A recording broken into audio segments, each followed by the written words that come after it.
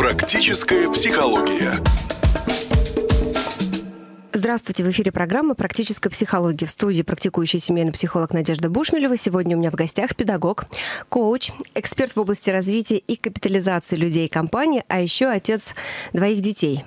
Итак, встречаем Игорь Дубинников. Игорь, здравствуйте. Да, добрый день. А, вот из той ипостаси, которую я только что перечислила, самая близкая роль для вас это кто? Наверное, Какая? учитель. Учитель. Да. Это самое изначальное, да? Что, что... Это то, к чему я скорее пришел, хотя свой диплом э, педагогический я получил давно. То есть первый диплом, который я получил, был педагогический. Это такая базовая, да? А, Это- ос- ос- основная такая была. Чего Первая вы профессия, оттолкнулись? которую я получил. Вот. А, но тогда, когда я получил, я точно не собирался быть учителем. Даже, наверное, сомневались в том, что вообще буду ли я когда-нибудь, да? Я Это точно преподав- знал, что я не, буду. буду. Да, но как обычно в психологии бывает, как только ты говоришь не буду, Так сразу же включаются совсем другие процессы. ну да, слово как это не э, частицу не воспринимает мозг, поэтому Да, я сам себе запрограммировал, что буду. Похоже. Смотрите, у нас сегодня тема «Отцы и дети». А, сколько лет вы уже в роли отца? Э, У меня, получается, пошел 18-й год. 18-й год. Да. А, это сложная роль быть отцом? Или же вы считаете, что, в принципе, она по силам любому мужчине? Я считаю, что пока она не осмыслена, она легкая. Так, а как только? А как только ты начинаешь э, осмыслять роль, э, ну, для начала родителя, а потом уже внутри этой роли роль отца, потому что все-таки там есть и мать, да? И вот я бы сказал, что я пока в процессе, я пока не ответил себе на ряд вопросов, э, что значит быть родителем и отцом. Когда вы э, осознали вот, вот этот процесс, сколько было тогда ребенку, вашему первому ребенку, когда вы поняли, что вот так просто, бездумно я не могу быть, я, да, биологический отец, но я еще и человек, который задает определенную траекторию развития своему ребенку. Я бы сказал, путь был не, вот, не такой. Я сначала понял, э, что я благодарю и благодарен своему отцу. То есть это был мой юбилей 30-летний. И, ну, как обычно у нас бывает на наших этих застольях, э, я ну, говорил какое-то слово. Вот я говорил благодарность отцу. И в этот момент я осознал, что вот он как мог меня, так и воспитывал. А как он мог меня воспитывать, будучи э, инженером-радиотехником, там, работая на трех работах в советское время, там еще в Киргизии, когда мы жили, ну, естественно, давлением. Там, я должен, я обязан. Я это воспринимал, естественно, в штыки негативно, потому что я хотел Другого. не там, идти на огород, там, ничего не копать, на эту дачу не ехать, не заниматься этой прополкой картошки. Я хотел там спортом заниматься, с девочками гулять. В общем, у меня были другие интересы. И тогда, естественно, это был полный э, негатив, э, конфликты, рукоприкладство. Ну, не с моей стороны, я тогда еще был не способен это делать, но со стороны отца. Э, То есть, это такое было классическое советское воспитание. Э, И вот в 30 лет, когда я ему говорил спасибо, я понял, что... А я действительно ему благодарен. Он вот как мог, вот как его учили в свое время, а он воспитывался без отца. Он, кстати, в России вообще очень много э, детей воспитывается без отца. И вот как его воспитывали, так и он воспитывал. И вот говоря ему эти слова благодарности, я начал думать, так, стоп, а я-то чего делаю? А у меня-то дети. А вот как это? И вот дальше процесс осознания растянулся, ну, фактически, наверное, до 35-36 лет, когда я впервые сказал, так, стоп, я точно не хочу действовать как мой отец. Я точно начал сталкиваться с проблемами в школе у своего сына. Мы с ним вместе. И я понимал, что если я просто на него буду давить, то я получу, и у меня в моей жизни есть очень некрасивый и очень трагический пример, когда э, моего друга в семье давили, ну, то есть заставляли, и он просто повесился. Я вот, вот эти картинки сопоставил, сказал, так, стоп, теперь надо понять, что с этим делать. Я там впервые обратился к психологам, потому что, опять же, несмотря на то, что у меня педагогическое образование первое, родителям меня никто не учил быть. Эту роль социальную, к сожалению, в нашем обществе не преподают. А это одна из ключевых э, ролей. И вот до сегодняшнего дня я нахожусь, с одной стороны, в постоянном подтверждении ответов на эти вопросы для себя, я все больше получаю запрос от моих учеников, от людей, скажем так, более взрослого возраста о том, что у них проблемы с детьми, нужно что-то делать. И получается, я в это включаюсь и провожу уже даже на тему тренинги. Вот э, самое интересное, что я когда вчера перед э, эфиром э, написала о том, что я буду с вами встречаться, и попросила наших, ну, тех, кто Слушатели. меня читает, да, угу. в, в социальных сетях задать вопрос. Вот самым популярным вопросом было как раз, что делать, каким образом мотивировать детей, которые ничего не хотят, подростки. Ну, мы сейчас к этому подойдем, да. Итак, современный подросток это новое, в принципе, такое, я бы сказала, очень стремительное поколение, за которым мы не всегда успеваем с вами, да, а, они совсем не похожи на нас, но а, есть, я бы так поделила на две категории. Есть ребята, которые четко понимают, мы хотим этого, мы берем, мы делаем, да. Есть такие подростки. Прямо я говорю, не, не подросток, а песня. Вот с ними интересно не всегда легко, но понятно, что делать, да, то есть направляй и поддерживай. Угу. А есть другая категория и девчонок, и мальчишек, которые отстаньте от меня, я ничего не хочу, да сдалось мне все это, да. И вот как раз вопросов по этим детям все угу. больше и больше возникает у родителей. Ну, практически что, все такие.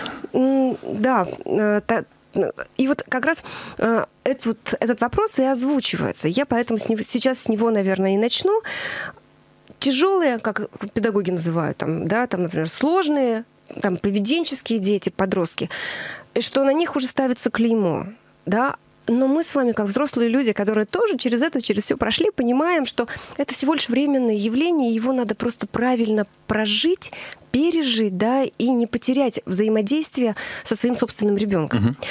Угу. Расскажите, как это сделать, вот, может быть, и с вашей точки зрения, с вашего опыта, и в то же время, так как вы а, уже делаете тренинги, как не потерять вот эту связующую нить родитель угу. и ребенок. Надя, если позволишь, я угу. на полшага вернусь назад. Угу. Да, мы, мы к этому сейчас э, как раз через э, вот эти полшага и перейдем к твоему угу. вопросу, который ты сейчас задала. Просто я понял, что я не ответил на твой вопрос предыдущий. Угу. Ты спросила про роль отца. Угу. Я рассказал о том, как менялся там в генезисе вообще, в Развитие принципе, как отцовства. я к этому вообще относился, угу. да, а по большому счету надо ответить на вопрос. Вот обучение и воспитание это, по большому счету, э, основные элементы педагогики, то есть науки о развитии человека, ну, в данном случае ребенка. Э, я считаю, что воспитание – это 90% семья, угу. обучение 90% школа, школа, и в обратную сторону, соответственно, 90% и, соответственно, 10% как, знаешь, треугольник, вот если взять прямоугольник и разрезать его пополам. пополам. Да. Вот э, к сожалению, мы, как родители, э, я говорю про свой пример, но угу. я уверен, что большинство э, честных родителей сейчас то же самое идут в себя. Мы как бы сдаем ребенка куда-нибудь. Да. чтобы найти себе свободное время. Нам дети реально не интересны. И мы не ищем никаких поводов для того, чтобы возник этот совместный интерес. Это уже перекликается с ответом на твой вопрос, который угу. ты последний задала. Но пока я не буду на него отвечать. Роль отца и роль родителя – это быть примером в чем-то. По сути дела, основное обучение, которое происходит в семье, это копирование модели поведения. Делай как я. Делай как я, но тут вопрос даже не в том, делай как я, и сейчас мы транспарант напишем угу. на эту тему. Надо понимать, что все, что вы делаете, копируется. Все. И если и мы говорим... слова, которые говорятся, они Слова, интонация, озвучат. все копируется. Маты, еда, привычки, бухло, телевизор, сериалы, все копируется. Но только может быть на современном диджитальном уровне. Угу. Поэтому первый момент – это какой нужен пример отца, а дальше уже вопрос. Девочки, соответственно, и мальчику. Угу. Ну, естественно, вопрос э, принятия ответственности – это вообще э, ключевой Сложно. вопрос любого взрослого человека. Но с точки зрения парня, это способность брать на себя ответственность, ставить цели, достигать, дисциплина. Это тот яркий пример, который должен видеть сын по отношению как бы, к отцу. Отец угу. должен показывать сыну. То же самое девочки, да, но там, тем не менее, там больше модель поведения, связанная с э, заботой, любовью. Это, по сути дела, э, ролевая модель будущего мужа, да, потому что она тоже будет копироваться. И вот эта э, ваша связь, наша связь с нашими супругами, то, как мы относимся на самом деле в семье, с какой любовью, добротой там, и так далее, друг это и будет копироваться нашими детьми с точки зрения их ролевых моделей. Вот поэтому роль отца ключевая – это быть примером мужчины, в жизни, соответственно, своих детей. Отлично звучит. Игорь, а скажите, вот если, например, как вы в начале самой программы сказали, э, в семье нет отца, да? А есть дети, мальчишки. Да. Как в этой ситуации? Что вы в этой ситуации рекомендуете? Ну, это, на мой взгляд, такая сложная уже ситуация, и так однозначно, не оказавшись в ней и не имея своих собственных примеров, угу. брать и говорить, вот делайте так или так, я считаю, что здесь ключевым моментом могут быть а, родственники и мужчины по линии, соответственно... Женщины? Э, женщины, а может быть, э, все-таки развернуться в сторону, например, линию и отца, да, если вдруг... Конечно. Дело угу. в том, что вот ты поймала прям, угу. что называется, эту мысль. Э, к сожалению, очень часто э, родители расходятся, теряя лицо и в очень жестких э, контрах. И дальше женщина начинает там мстить и пакостить по отношению к мужчине. Ну, и мужчина себя ведет недостойно тут тоже. И вот как при условии, что люди приняли решение осознанное, надеюсь, Расстаться не жить вместе, друг не быть другом. вместе, да, угу. как при этом, а, тем не менее, давать возможность э, взаимодействовать с биологическим отцом, и как, тем не менее, при этом выполнять свою функцию а, тем не менее, да, угу. реализовывать свою ответственность как отца. Вот, на мой взгляд, это поиск возможностей и добавление в окружение мужской линии. Угу. Крайним вариантом могут быть э, уже вопросы наставничества, люди, которые реально по интересам могут быть э, близки, но при этом они мужчины. Ребенку. Конечно. Вот, и теперь, отвечая на вопрос твой, да. вот, который, который я, к сожалению, пришлось вернуться к первому, который я не ответил. А, и это вопрос, прежде всего, совместных интересов. Угу. Для того, чтобы находить какие-то возможности для общения, должны быть поводы для общения.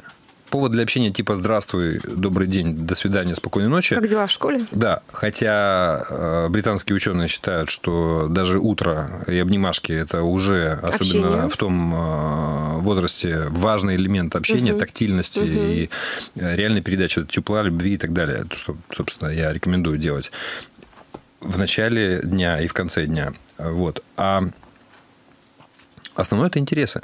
Вот какие интересы у вас? А, ходите на спорт? Ходите с ребенком. Изучаете язык? Изучайте с ребенком. У ребенка репетитор по какому-то предмету, может быть, вам имеет смысл вместе сходить к нему. А, я считаю, что для подростка особенно в момент, когда а, мы сталкиваемся, родители, это самый тяжелый для нас в современном мире момент. Мы это сами не можем толком ответить на этот вопрос, какой профессии а, там, и какая работа, кем быть а для себя, а уж тем более для ребенка. Так вот, этот момент наиболее удобный для того, чтобы совместно изучать мир будущего, чтобы находить ответы на вопросы, в том числе про себя, тестироваться точно так же на этих профориентационных тестах, точно так же наравне с ребенком, смотреть результаты, обмениваться этой информацией. В этом случае тогда возникает вот то самое базовое доверие, на фоне общей деятельности. Если mm-hmm. у вас нет общей деятельности, общих интересов, все остальное будет бессмысленно. То есть там прийти проконтролировать только будет это закрывать ребенка все больше и больше по отношению к вам. Хорошо. Вот э, мы, получается, если мы постоянно живем вот этой самой, дышим тем же самым воздухом, которым дышит ты, твой собственный ребенок, мы вместе растем, развиваемся, но в какой-то момент он говорит, так, стоп, мама, папа, вы знаете, я уже не вы. Я уже та отдельная личность, да, которая хочет много что уже и без вас сделать, да? То есть мы, как с вами, должны грамотно его отпустить, правда?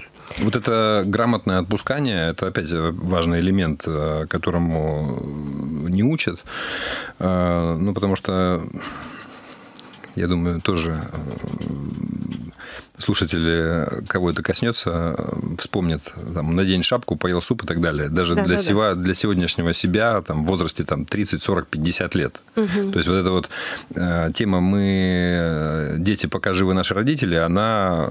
Вечная. Вечная. Я ее называю, по большому счету, такая культура ковра. Угу. Ну, то есть каждый из нас э, в свое время воспитывался, и у нас на стененке висел ковер. Вот у каждого свой. У каждого свой. Да, и вот этот ковер, он ну, фактически является отпечатком в голове э, той модели поведения и воспитания, которую мы скачали. Нужно признать, наше поколение одно, это поколение другое. Совершенно. И абсолютно неплохо, что они не хотят там какой-то толпы, со всеми общаться. Еще раз, они такие, и это нормально. Дальше. В сети они так общаются, вы даже не представляете. Современный мир диджитален, будущего тем более. Не надо их ограничивать с точки зрения общения. Научите их грамотно взаимодействовать в сети. Это просто элемент коммуникации. Угу. Вот получается, что э, вот если в эту сторону не заходить, в этой стороне, в этой стороне не разбираться и не принимать изначально ребенка таким, какой он есть, а, то ты будешь пытаться свой ковер как бы применять, там, настилать, Смотри, застилать. Вот, да, вот да. у меня ковер, да. и, и ты, ты, ты, должен, тоже... ты должен быть таким, угу, такой же, как угу, я. Угу. Да, и вот э, с этим надо разобраться в первую очередь. Свой ковер снять и нахрен выкинуть, извиняюсь за выражение.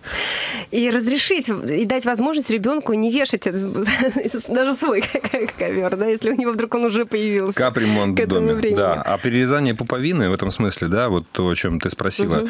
А, ну, вот у меня, например, в жизни это был очень тяжелый период, потому что у меня сын, ну, мы столкнулись с тем, что Глеб э, это был какой класс? Седьмой класс. Он сказал, все, я больше в школу ходить не буду. Угу. Я сказал, подожди, как это ты не будешь? Пошли в школу. С классным руководителем поговорил. Но там были определенные проблемы с поведением, в том числе с его стороны длящийся давно. То есть, как бы это там не, не первый раз не сегодня было. Да, мы там до этого меняли школы. То есть, угу. вот, вот в очередной раз я столкнулся с этим. И э, оказалось, я понял, сам увидел, что нет, я не хочу туда, в эту школу его отправлять. Хотя это в Петербурге, это гимназия, это, в общем, цивильное место. Угу. Многие туда стремятся. Я понял, что я не хочу последствий таких, какие были у моего друга. Я понимаю, что если я буду давить, я его сломаю он еще тот кремень. Угу. И даже одна из новых учителей в школе, учитель русского литературы, мне тогда посоветовала и сказала, если у вас есть возможность, забирайте. И мы с ним сели и подписали контракт в кофехаусе, где мы договорились, что он идет на экстернат. Так, это возможно, да, в нашей стране? Это возможно угу. в нашей стране. Ну, как спортсмены, например, угу. которые учатся экстерном. Угу. Но при этом, если ты не учишься, как обычно, чем ты будешь заниматься? Буду угу. работать. Замечательно тебе надо готовиться в этой стране ты, чтобы быть гражданином, должен получить образование, по крайней мере, начальное школьное образование. То есть, угу. это не начальное, а среднее а, образование. То, есть, 9 класс. самый 9 класс. Да, потому что угу. для того, чтобы поступать в ВУЗ, нужно 11. Угу. А если ты не хочешь поступать, то 9 тебе должно быть. Это просто гражданин. Угу. Вот. И, э, окей, тебе нужно готовиться, там есть ГИА, тогда это называлось, угу. сейчас ОГЭ, по-моему, называется. Э, там предметы конкретные, которые ты должен изучать. Но репетиторы, кто за них будет платить? Это же твое было решение. Супер. Значит, ты будешь работать, и деньги, которые ты будешь зарабатывать, часть будешь направлять на репетиторов. Угу. Да. То а кем ты можешь тем работать? Тем не менее, в поддержке вы ему не отказываете. Конечно. Да? Кем ты можешь работать? Я могу, не знаю. Я говорю, ну, уборщица, вот, например. Угу. Когда, когда человек говорит, я не знаю, то уборщица или грузчик. Это первое, что приходит в голову. Первое, что приходит в голову, это реально, это не... Я работал, я начинал угу. свою карьеру с разнорабочего, с грузчика. Ну, потому что на тот момент я другого ничего не умел делать. И у меня нормально. в трудовой книжке тоже первое написано санитарка неврологического отделения. Все, еще раз. Если у тебя нет угу. фантазии, уборщик Пожалуйста, или грузчик, идеально. вперед. И, пожалуйста, сразу обращайся к родителям, потому угу. что это потенциальные твои первые работодатели. Так он начал убирать дома, потом в одной из моих компаний. Но мы с ним сразу в это в контракте прописали, что он работает, он учится с репетиторами, я его защищаю от всей остальной семьи. Угу. Ну, потому что я одновременно стал директором школы, и заучем, и предметником, и всем подряд. Ему нужна была поддержка, я ее дал. Но у нас контракт.Угу. Ну и дальше постепенно он понял, что он не хочет быть э, уборщиком. Потом что надо что-то да, делать начал другое. есть продажи, потом первое дело свое открыл. Неважно, это пока в сторону э, уберем. Э, пуповина, вот это перерезание угу. ее, наступил момент, когда он закончил школу. По сути дела, я его на своем авторитете и на нашем контракте угу. протащил. Угу. А дальше следующий этап. А дальше, получается, он сам. И вот он сам уже я его вот этими своими какими-то методами давления, тем не менее, там где-то хитростью, я уже не могу его вытащить. И это здорово, что он сам проинициировал это. Там они с Наташей, с моей супругой, угу. с мамой как бы, нашли психолога. И он начал ходить к психологу. Потому что основная задача, основной запрос был, это вот эту связь нашу, ну, не в смысле вообще, а в смысле ту часть, которая работала на предыдущем этапе, а теперь не, не работает, работает, вот это вот э, ступень ракеты, которая должна отстрелиться для того, чтобы спутник вывести на необходимую орбиту, к сожалению, э, я сам не знаю, как это делать. Угу. Поэтому работа с психологом на протяжении какого-то количества, там, пяти или семи сеансов, после чего я помню, мы уже пришли вместе с Наташей, и разговор был на четверых, где вскрылись определенные э, проблемы в нашем взаимодействии, где мы договорились о том, как мы дальше взаимодействуем, и с тех пор другие отношения. То есть э, я, к сожалению, мы, к сожалению, воспитывались в стране, где до сегодняшнего дня признаться, что ты пошел к психологу, это фактически сказать, что ты в дурке лежишь. Но наша культура в стране, к сожалению, вообще против психологии. Это с одной стороны. С другой стороны, у нас проблема с этой профессией. Туда пришли люди, которые не решили своих проблем, они остались, пытаются другим помочь. Очень мало качественных психологов. А в основном психологи такие, что им нужны психотерапевты самим. Вот через отзывы, как угодно, находите адекватных профессионалов, и если вы находите ситуации, когда вы понимаете, что вы не можете эту проблему решить, идите и решайте ее с профессионалами, потому что чем дальше, тем больше проблема будет становиться э, как бы конкретная и по поводу выбора э, будущего, и по поводу отношений, да и у вас у самих э, проблем, я имею в виду более старшее поколение, тоже хватает. Вот такие рекомендации нам сегодня дает Игорь Дубинников. Мало того, что он педагог, коуч, эксперт в области развития и капитализации людей и компаний, так еще и является отцом двоих детей. Кстати, скоро будет и третий, да? Да, мы на шестом месяце. Отлично. Продолжаем. Тема у нас сегодня «Отцы и дети». А, что делать с ребятами, которые не горят желанием строить планы, двигаться к целям. Это, кстати, особенность современной молодежи. В отличие от э, нас, предыдущего поколения, а, вот, вот это вот э, умасливание на тему будущего, угу. что там, а вот потом тебе будет счастье, хотят сразу. Да. И современная вся индустрия СМИ, и уж тем более интернет, пестрит вот этими историями быстрого успеха, и все хотят так же. Э, извини, что тебя перебил. Ты хотела спросить, э, а да. а что с этим делать? Да, самый распространенный вопрос, который вот я говорила из социальных сетей. Как правильно мотивировать ребенка на то, на то, чтобы у него сначала были хотя бы положительные результаты в учебе, а потом еще и траектория развития в профессионале? Первое. Забыть о слове мотивировать. Потому что вы не можете, мы не можем никого мотивировать. Угу. Мы можем только стимулировать. Угу. Мотивирование или мотив Мотива. это внутренний мотив. процесс и мотивация. То есть мы она зависит от самого индивида, от человека.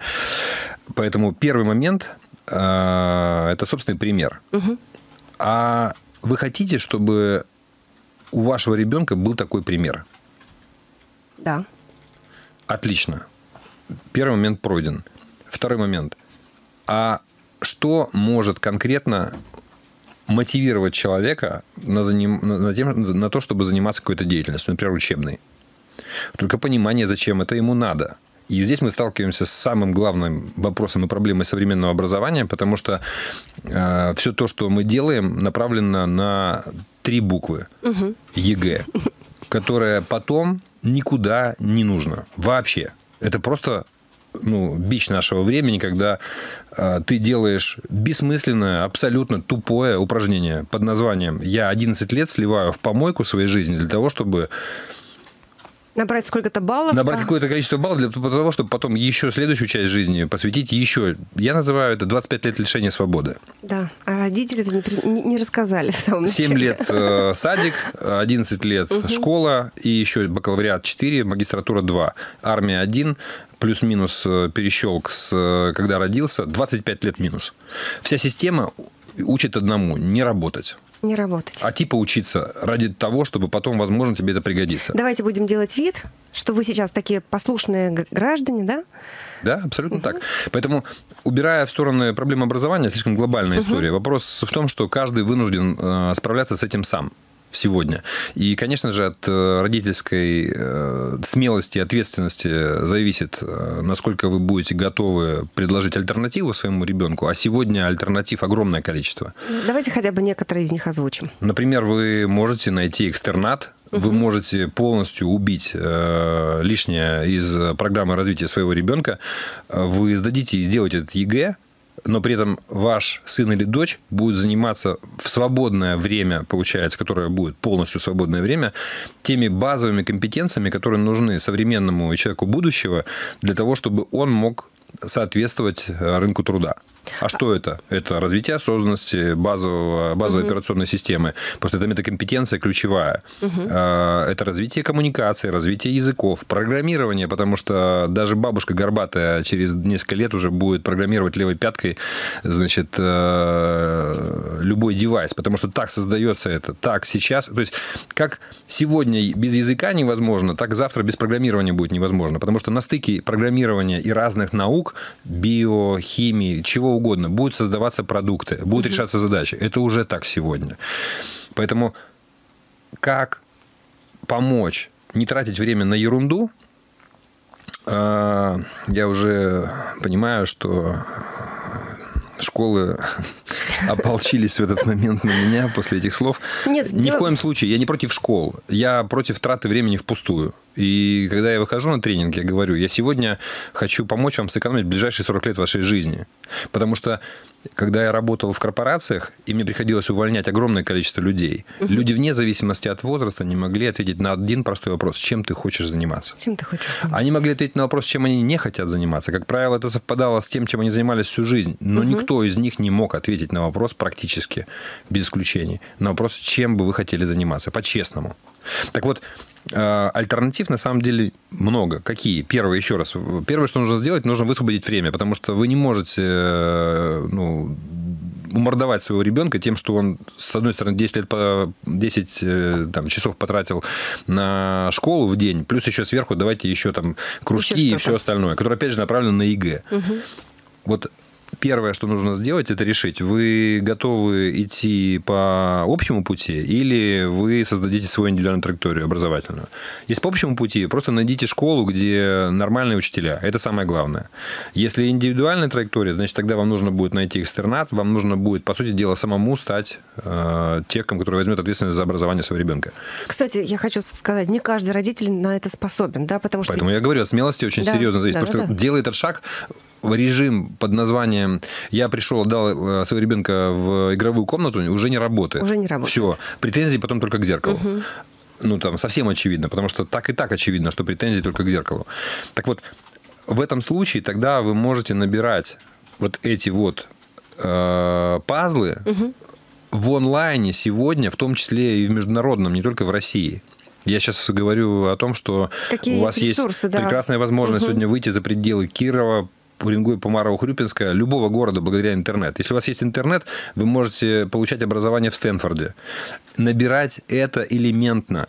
Но начните, начните с того, что вы э, первую часть времени посвятите исследованию способностей своего ребенка, интересов своего ребенка. Потому что нет смысла тратить любое количество времени на то, что вообще не нужно.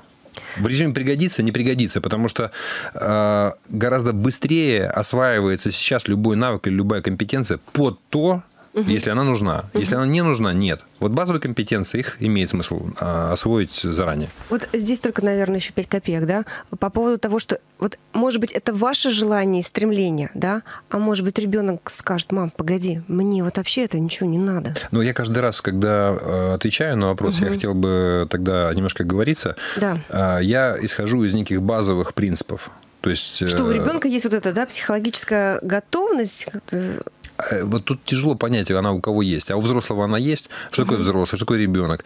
Вот у меня есть мои базовые принципы воспитания детей, которые я для себя осмыслил и которые я транслирую. И вот Первое, о чем я говорю, мы на равных. Угу. И в данном случае это наша совместная задача. Нет такого, что это его проблема или моя проблема. Угу. Это наша совместная проблема. И мы должны ее решить. Конечно. Там второй момент угу. очень важный. Честно, откровенно. То есть ничего не за как бы грибаем под ковер.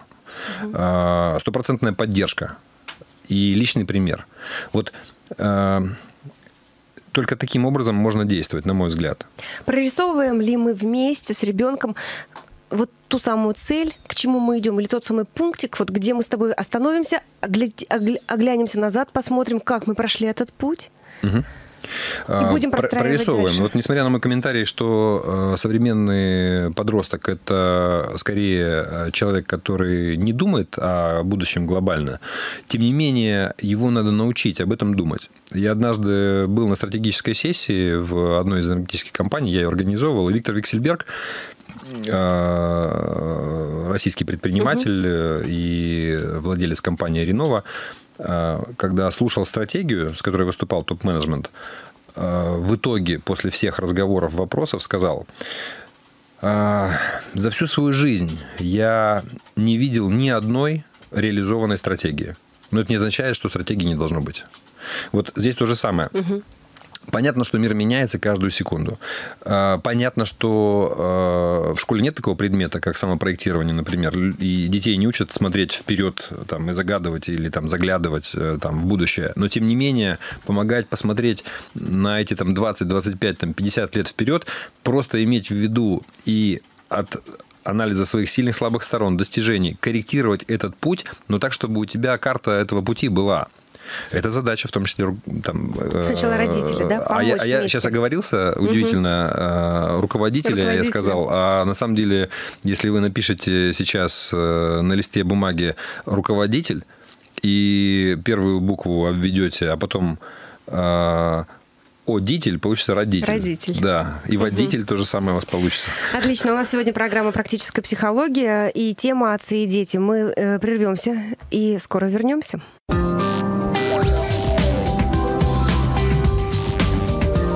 Практическая психология. Итак, продолжаем программу «Практическая психология». Э, У меня сегодня в гостях Игорь Дубинников. Игорь, у нас тема «Отцы и дети», и вот мы уже поговорили о том, как выстраивать взаимоотношения с нашими подростками, как э, выстраивать, наверное, такую траекторию будущего вместе, опять-таки, да, сообща.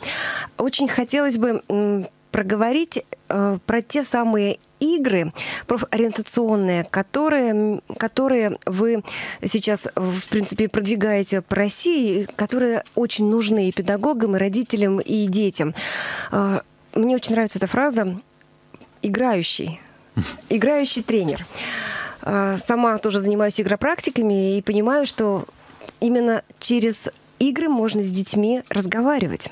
Ну, для меня просто моя, ф- мое словосочетание «играющий тренер», оно связано с моим э, бизнесом инвестиционным. И э, учитывая предыдущий опыт, э, я с командами взаимодействую именно как играющий тренер, потому что э, я внутри могу выполнить любую роль любого игрока, учитывая свой предыдущий опыт работы и коммерческим директором, и генеральным директором, и как собственник бизнеса. То есть я с разных сторон знаю бизнес.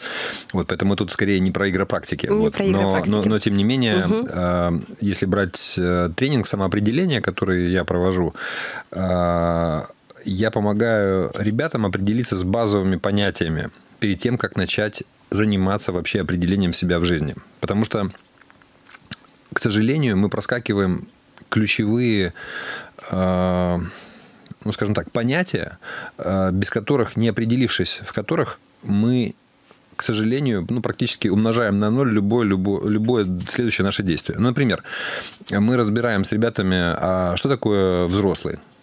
Это как? Что значит быть взрослым? То есть какие да, критерии да, взрослости? Вот как, а, как, как можно расшифровать слово «взрослый»? Я обычно задаю, я разбиваю их на небольшие группы и даю им это слово. И прошу их э, ответить на этот вопрос. Там, не более семи слов формулировку. За всю историю не было ни разу, когда кто-то заговорил о возрасте. А, Если усушить и суммировать то, о чем они говорят, взрослый – это а, человек, отвечающий за свои слова, дела и поступки. Точка. И когда у ребенка это происходит осознанно, А вот это вопрос выбора. Получается, что если ты строишь отношения и разговариваешь об этом со своим ребенком, подводишь его постепенно. Это не происходит там за один день. За один день такое определение не происходит. Потому что дальше, когда вы о чем-то договариваетесь, происходят примеры из жизни, которые вы обсуждаете, где его поведение соответствует или не соответствует этому, где твое собственное поведение соответствует, не соответствует этому.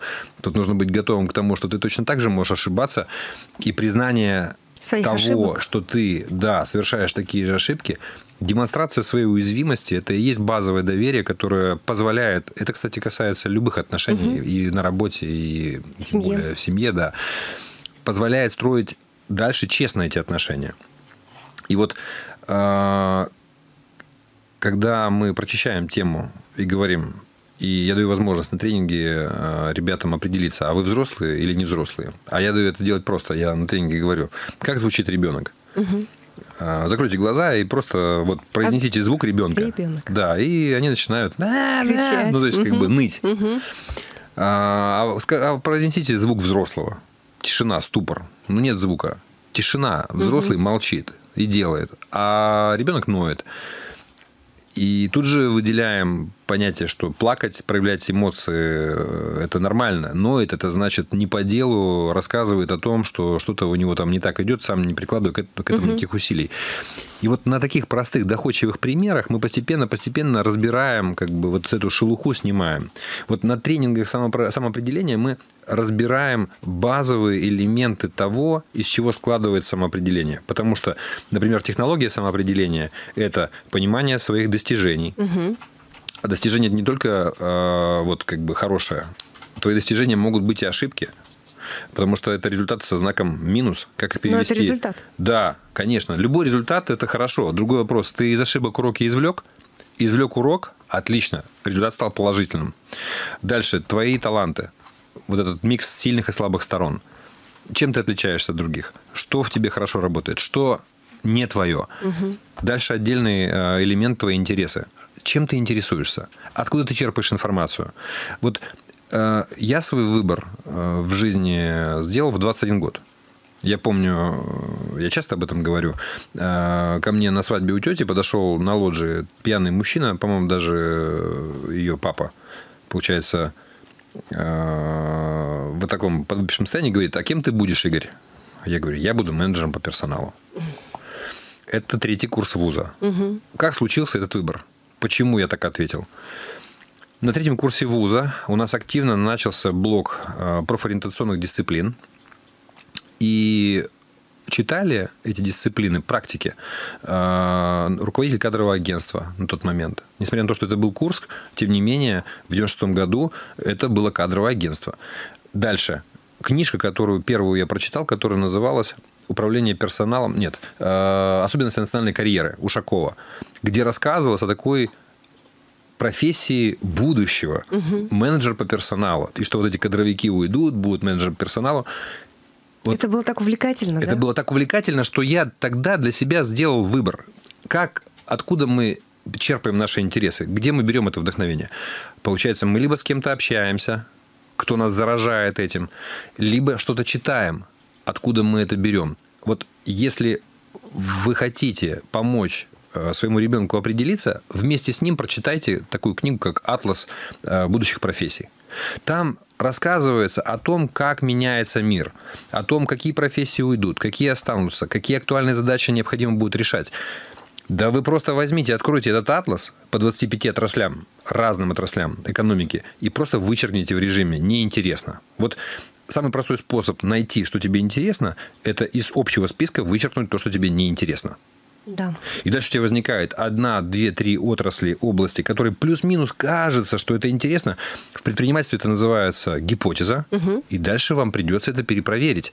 Вы пойдете туда и там. Идеально, если вы найдете в своих кругу друзей, знакомых, наставников потенциальных, которые могут рассказать о том, что это такое. В идеале могут дать возможность провести на рабочем месте, посмотреть экскурсию, попробовать. Сегодня это можно вообще просто делать в сети. Вы просто находите в этой области человека, э, вы берете область, забиваете туда эксперт в области такой-то, у вас вываливаются люди всего мира. Постучаться к нему, подписчики, сети, еще читать то, что он пишет. пишет. Это то, что вы можете делать для себя и точно так же для своего ребенка. Абсолютно без проблем. Так вот, э, Как хорошо, что это нет теперь этих границ, да? Да, круче интернета только телепатия, конечно. То есть, э, если уметь пользоваться грамотно то, чем как бы современная, современный мир нас одарил, угу. вы можете двигаться очень быстро. Еще раз, это кардинальным образом убирает э, границы городов, стран, там чего угодно. Более того, если мы берем практику, э, это последний элемент системы самоопределения, то сегодня зарабатывать может любой человек любого возраста. Если раньше подростка, да и сейчас в офлайн режиме на работу не возьмут, потому что ограничения, кому нужен геморрой, вы только сами можете сегодня угу. нанять своего ребенка себе на работу. Если у вас есть такая возможность, сделайте это. Но в сети, а сегодня огромное количество профессий уже диджитальных, в сети нет возраста. Аватарка на вашем профиле в социальной сети не рассказывает о том, сколько вам лет. Вы там можете цветок поставить с горшком. То есть вас уже там не воспринимают как э, человека какого-то возраста. Мало того, сейчас подростки иногда зарабатывают даже больше своих родителей, да? Подростки вот вообще самых... знают да. больше, чем родители сегодня. Это, кстати, одна из особенностей нашего времени, э, что э, подростки сами могут нас учить многим вещам, которые нам бы имело бы смысл поучиться. И учат. И за, за это и им дай бог. спасибо. Кстати, да. это один из моментов, связанных с э, выстраиванием отношений. Опять же, через вот эту уязвимость и готовность сказать, что ты что-то не знаешь, попросить, чтобы твой ребенок тебя этому научил. Со скольки лет э, вы примерно берете детей э, вот на семинары? Ну, из курсы? опыта это 12 лет, хотя дети разные, но вот оптимально это 12 лет. С 12, 12 и да? старше, да. То есть 14-15 это тоже тот возраст, Это основной самый... возраст, с которым я сталкиваюсь. То есть, если взять профиль э, моих выпускников, то это где-то 60, а то и 70 процентов посетителей. Дальше будет хвост тех, кто помоложе, и хвост тех, кто постарше.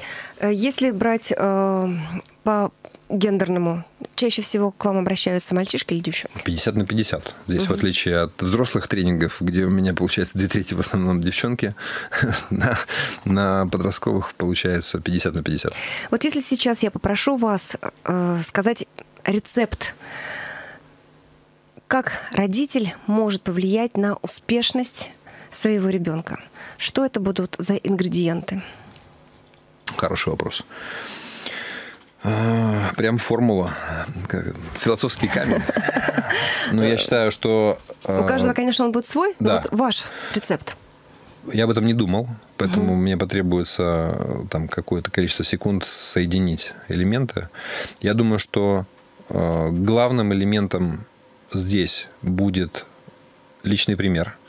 Личный пример это не означает, что у курицы не родится орел.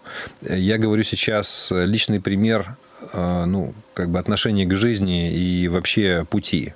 Смотри, как я умею решать эти задачи. Нет, да? смотри, как я люблю жизнь, и почему я занимаюсь любимым делом, делом, и почему я знаю, что это мое любимое дело, и почему я знаю, что я полезен людям и так далее. То это гораздо это более мощная призвание, история. да, своего? Да, То есть конечно. Я, я нашел, я тот человек, который нашел свое призвание. Да. У тебя это получится тоже. Самый лучший вариант э, в этой формуле э, влияния – это когда тебе не надо говорить слова, когда люди видят, что ты светишься изнутри, потому что ты действительно занимаешься полезным делом, которое ты любишь, которое делает тебя счастливым. Угу. Поэтому я бы отдал э, в этой формуле 50% личный на, пример. на личный пример, безусловно. Значит, второе – это отношения на равных. Для меня это все, что связано с Э, открытостью, честностью, правом на ошибку, в том числе и как для своего ребенка, так и для себя. Это 25%. Угу.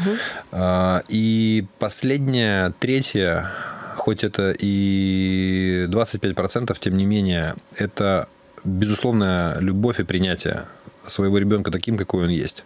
И чтобы не происходило в его жизни. Без всяких если рядом. или но. Угу. Вот э, пока этого не произойдет, а любовь это и есть принятие, вот безоговорочное. Ты можешь давать обратную связь, это парадокс в чем? То есть ты, принимаешь человека, каким он есть, но ты можешь ему давать обратную связь относительно того, а, где бы ты видел возможность для улучшений. Но при этом он сам решает, будет он это делать или нет. Вот это самое сложное, на мой взгляд, для нас, для родителей. Спасибо большое, Игорь. И еще в завершении нашей программы, что бы вы порекомендовали? Какие фильмы посмотреть, какие книги почитать э, нашим родителям, чтобы еще лучше понимать, куда мы двигаемся с нашими детьми? Вот, э, учитывая, что Э, мы начинаем с личного примера. Угу. Я бы родителям порекомендовал в тему погрузиться. Потому что если вы не в формате, то с вами не о чем разговаривать. Надеяться на то, что кто-то за вас эту работу сделает, бессмысленно. Поэтому ваша личная осознанность является ключом к тому, чтобы вскрыть эту формулу. А, для этого я вам рекомендую, я всегда рекомендую эту книгу, книга Стивена Кови «Супер работа, супер карьера». Это одна из последних книг этого автора. Если вы его знаете, вы должны его знать по навыкам, э, семи навыкам высокоэффективных людей. Э, но эта книга, в принципе, о том, как э, найти свое дело, как быть полезным и при этом как на этом заработать. Как устроен современный мир будущего. Ну, на самом деле, в принципе, это я считаю, что книга хрестоматийная, она не зависит от времени. Угу. А, я уже порекомендовал вам посмотреть атлас э, новых профессий, атлас э, будущих профессий. Это просто вы обязаны это сделать э, как минимум для себя самого.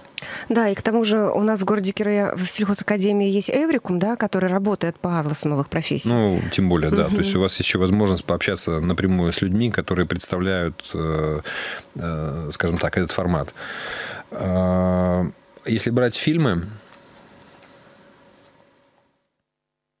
Тут, мне кажется, все очень сильно зависит э, от момента, да, то есть вот э, какой-то дать актуальный список обязательных э, фильмов к просмотру нет. Но то, что отвлекается сейчас, то, на что бы я обратил внимание,